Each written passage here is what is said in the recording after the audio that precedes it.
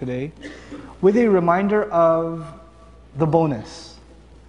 There's something Allah has given us, an additional bonus in this month that we should really take opportunity of, really take advantage of.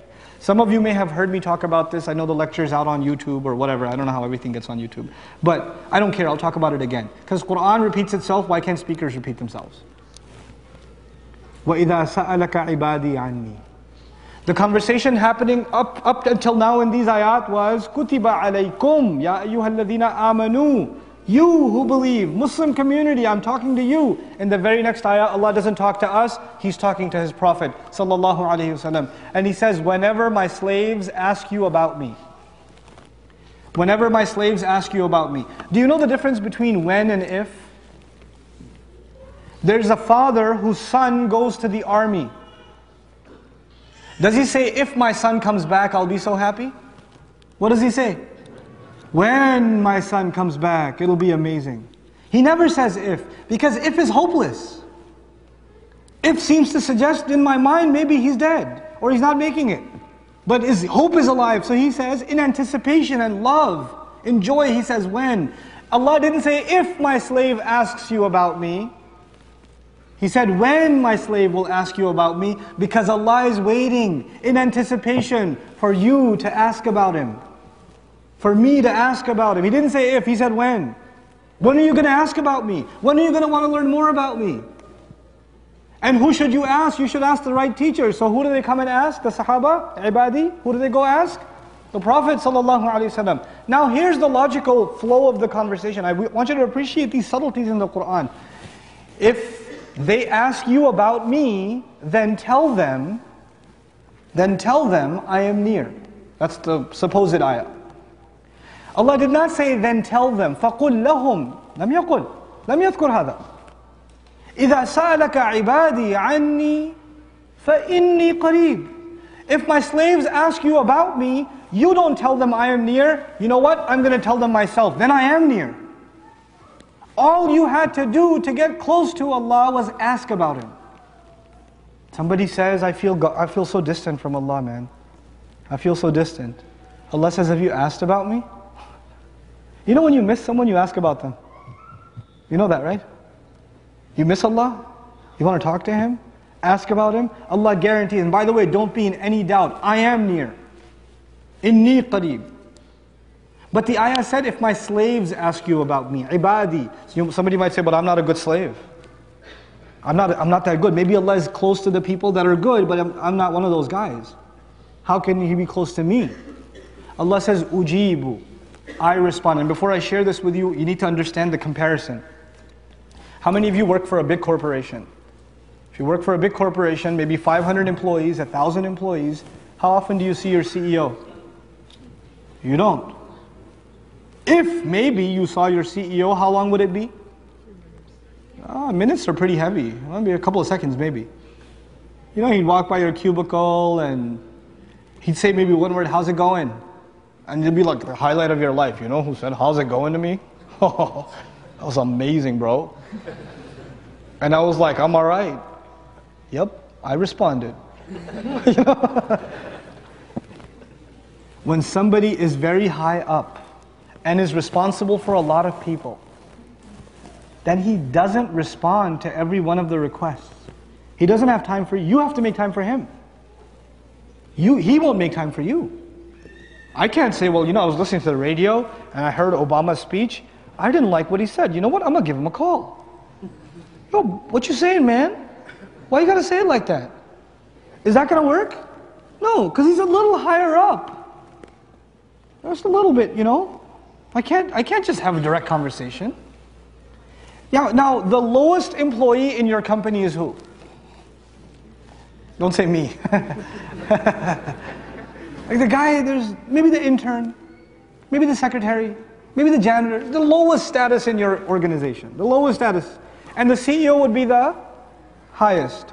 This, the word slave, is there any lower job description in existence? No. Slave means there's no one below you, bro. You know, there's no one below you. And Allah is Rabb, which means there's no one higher than Him.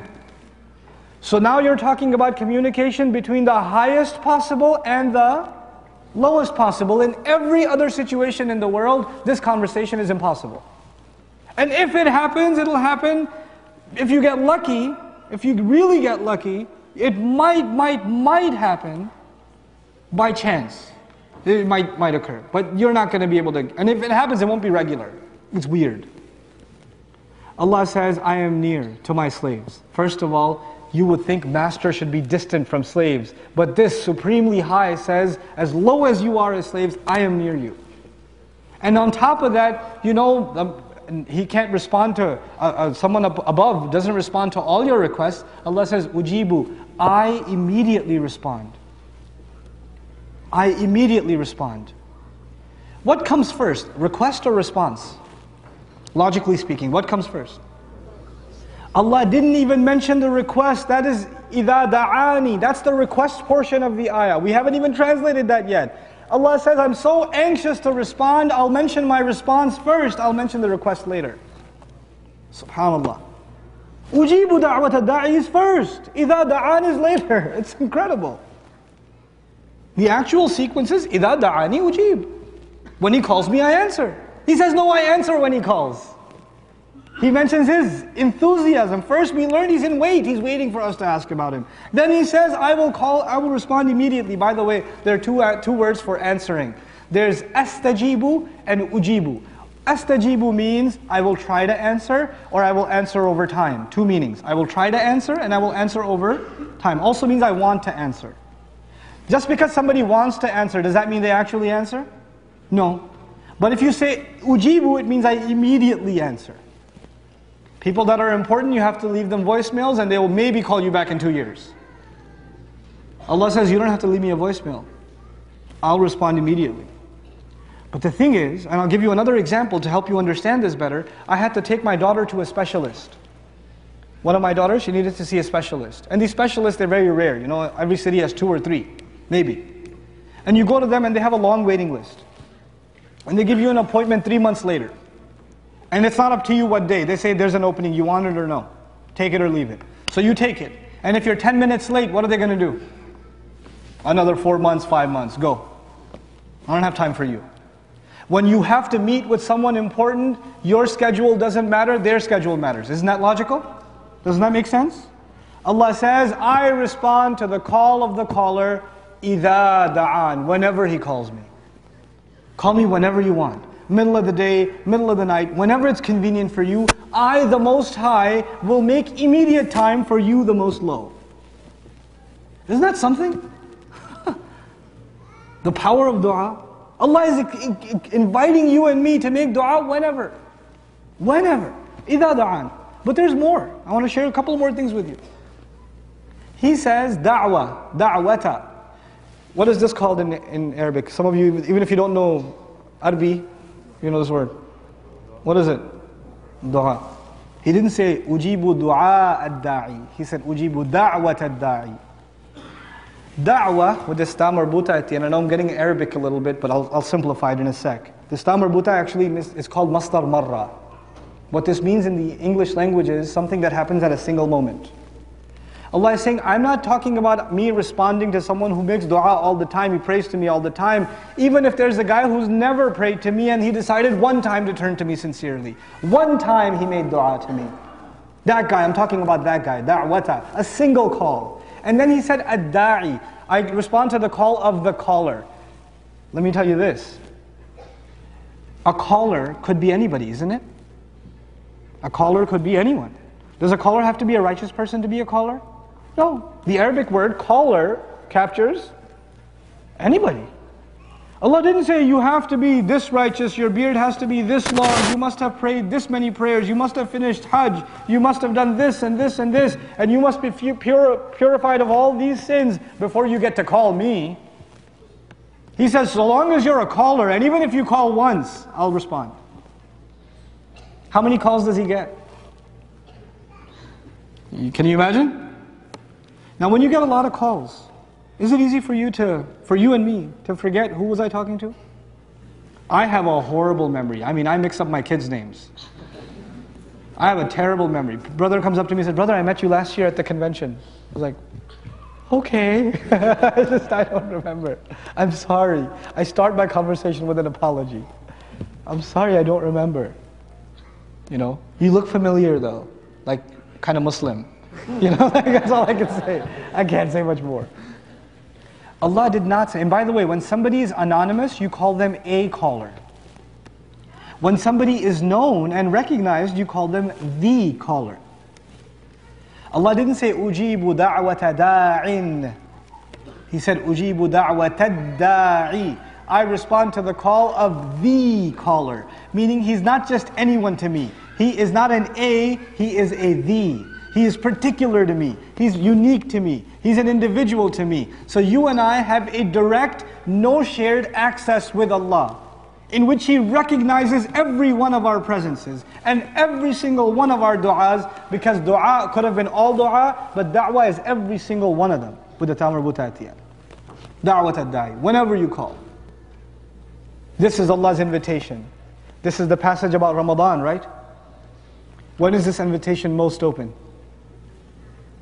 Ramadan.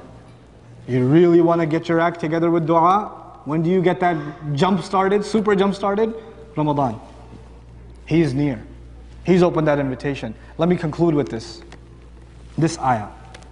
فَلْيَسْتَجِيبُوا لِي Then they should try to respond to me. He said, I respond over time or immediately? What did, which one did he say? You remember? I respond immediately. Allah didn't say, well, you should respond immediately too to me. He said, no, then they should at least try to respond to me. They should at least want to respond to me. Allah says, I'm not expecting too much from you. At least give me a sincere effort. Don't give me ijaba, give me istijaba. He changed, he switched the verb. See, that's why Arabic is important, guys. You read the English translation of the ayah, you'll probably 90% of what I shared with you today is not there. And when you, when you make that intention, I guarantee you Allah will open doors for you you never imagined. I guarantee it. Because Allah guarantees it. So he says, فَلْيَسْتَجِيبُوا لِي Try to respond to me. وَلْيُؤْمِنُوا بِي And they should believe in me. Allah mentioned believing in Him at the end because when people pray to Allah, Ya Allah, get me a raise. Ya Allah, let me marry that girl. Let the family say yes. I know her father hates me, but please, somehow, put something in his heart. Put something in his heart. And the girl's making dua, Ya Allah, not that guy, please not that guy. you know. uh, you know. You're making dua, and sometimes you don't see the results of your dua. Sometimes you don't, you don't see the results immediately. And then you start thinking, well, God said He's going to respond immediately. Where's my raise? Ya Allah, by the time I reach my car today, my 1978 Cutlass Ciera in the parking lot, let it be a BMW M5. 2012. Navigation, spinner rims would be nice. I mean. And you get to the parking lot, you're like, what's up, God? It's Ramadan and everything. Nothing working. No, no, no, no, no. Allah says the prayers are answered not on your schedule. Allah will respond, but He will give you what's best for you. You don't even know what's best for yourself. Allah knows what's better for you. He'll respond though, in His way. In, and His way is way better than your way, trust me. So that requires you to believe Him that His way is better. His way of responding is better. I'll give you a small example of that. A mother is afraid that her baby is going to die. A mother is afraid. Mother's, mother of Musa is afraid her baby is going to die. Allah says, breastfeed her. Breastfeed the child. Ayah comes, just feed the child. You might think, my ba- soldiers are coming to kill. If they hear a baby make a single noise, they're going to kill a baby. You're telling me to feed the child? No, she trusts Allah and she starts feeding the child. And guess what? When a child is being fed, does the child make noise or no? So they don't hear the child. No, if she tries to hide the child, put a blanket over him, whatever, is he going to, a little bit of a, eh, and it's over. Allah gave her the best thing she could have had at that very moment feed your child. And if you really get scared, here's what you do put him in the river. If you're afraid, put him in the river. Now the thing is, putting him in the river was the best thing that mother ever did because she believed in Allah. Because you know why? That river got him to a palace. And when he got to the palace, he was already, Allah had put in the heart of that baby that he will only drink that flavor of milk. So no matter how many wet nurses you bring him, he will not accept